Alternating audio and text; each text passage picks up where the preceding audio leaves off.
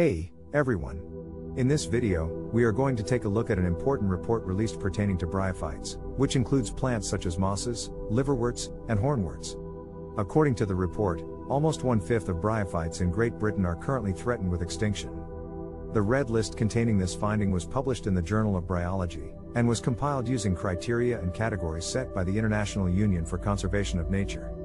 The author of the report, Dr. Des Callaghan, assessed the conservation status of all 1,097 species known to have occurred in England, Scotland, and Wales since AD 1500. Out of the 1,029 species of bryophyte which had enough information available, 19% are threatened with extinction, with 59 species being critically endangered, 52 being endangered, and 80 being vulnerable. Thankfully, none of the hornwort species assessed were found to be threatened.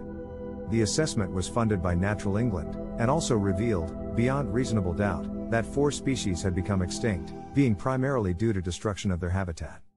Another 20 species may also be extinct, but further searches need to be done in order to confirm this. Dr. Rory Hodd, an independent botanist and ecologist who is specialized in bryophytes, said that the red list of the assessment serves an essential role in identifying species that need conservation action and that this action is urgently needed. He states that the decline seen in many species and the habitats on which they rely for survival could accelerate in the future without any intervention. Hodd also remarks that these declines are part of a wider trend of biodiversity loss across Britain and Europe. He noted that this is due to a combination of factors, such as habitat loss, degradation, fragmentation, air pollution, and climate change. Overall, the findings of this assessment are cause for concern and action needs to be taken if we want to preserve bryophytes, which have been around for around 500 million years, being the first plants to colonize land.